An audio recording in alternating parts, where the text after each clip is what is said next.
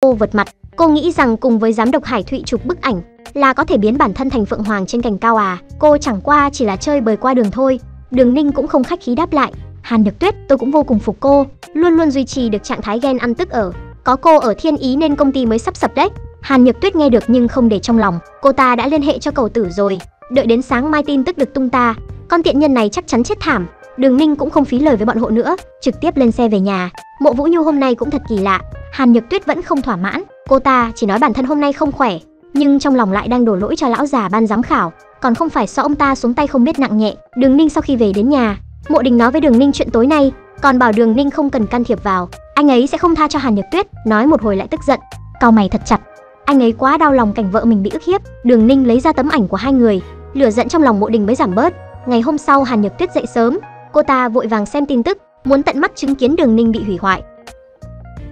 Các tin tức lớn nhỏ đều đang nói về cô ta. Giám đốc Thiên Ý đã lên kế hoạch làm hại các nghệ sĩ của mình. Hàn Nhược Tuyết giả danh Đường Ninh tự đội nồi PR lên đầu, muốn ép Đường Ninh đến đường chết. Tin tiêu cực về cô ta đến quá nhiều, tin nào cũng đang ở trên hot search. Kinh ngạc đến nỗi không nói nên lời, đổ mồ hôi lại. Không thể tin được mọi chuyện lại biến thành như thế này. Cô ta vội vã gọi cho Đường Ninh, lớn giọng mắng chửi Đường Ninh, "Có phải cô hại tôi không?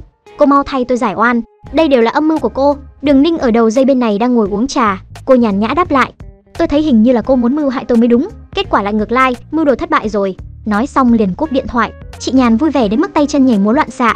Con tiện nhân này cuối cùng cũng phải chịu phạt rồi, nhưng tin tức cũng công bố ra ngoài rồi. Sao mộ tổng của chúng ta vẫn chưa có động tĩnh gì vậy? Đường Ninh cười đáp lại, mèo bắt được chuột rồi trực tiếp ăn luôn sao? Chị Nhàn không thể không cảm thán hai người họ thật sự xứng đôi, ai ai cũng hai mặt. Đang kích động không yên ở trong phòng suy nghĩ cách giải quyết, cô ta cứ đi qua đi lại, nhưng cuối cùng vẫn không nghĩ ra cách giải quyết. Nhưng chỉ cần Mộ Đình vẫn chưa hành động, thì vẫn còn đường quay đầu. Ai biết được lúc này điện thoại lại vang lên tiếng tin nhắn, là luật sư của công ty Mộ Đình. Hải Thụy cuối cùng cũng muốn truy sát hạt ta, đã xúc phạm ông lớn của làm giải trí. Hàn Nhược Tuyết liệu có thể lật được ván cờ này không?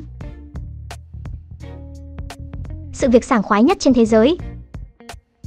Hàn Nhược Tuyết tự lấy đá đập chân mình, vốn định lấy danh nghĩa Đường Ninh ra làm trò tầm bậy, mà Mộ Đình lại trực tiếp công khai sự việc. Bây giờ trên mạng toàn là người mắng chửi cô ta, Netizen mắng cô ta nên đi chết đi. Cô ta bàng hoàng ngồi trên sàn, quầng thâm dưới mắt còn thâm hơn gấu trúc. Lúc này lại đột nhiên nghĩ đến Đường Ninh, liền đứng lên gọi điện thoại cho cô ấy. Mặt cô ta méo sạch, khóc lóc thảm thiết, dùng toàn lực đi cầu xin Đường Ninh, "Cô giúp tôi nói một câu có được không? Đều là lỗi của tôi, tôi xin cô, tôi có thể quỳ lạy, khúm nung trước mặt cô, chỉ cần cô để lại cho tôi một con đường sống." Nhưng Đường Ninh hoàn toàn không bị cô ta tác động đến, trong lòng vô cùng sáng suốt, sáng như tấm gương vậy. Nếu hôm nay người trong tin tức đó là tôi, Người bị Hải Thụy truy sát cũng là tôi, cô liệu có cho tôi một con đường sống không? Hàn Nhược Tuyết, cô nhận lỗi không phải vì cảm thấy tội lỗi, mà bởi vì chuyện này vẫn chưa đủ để hạ gục tôi. Vì thế cô cảm thấy không can tâm. Hôm nay cô nợ tôi bao nhiêu cũng đã rõ, lần sau chúng ta nước sông không phạm nước giếng. Đương nhiên trước đó phải xem cô có đủ thành thật không.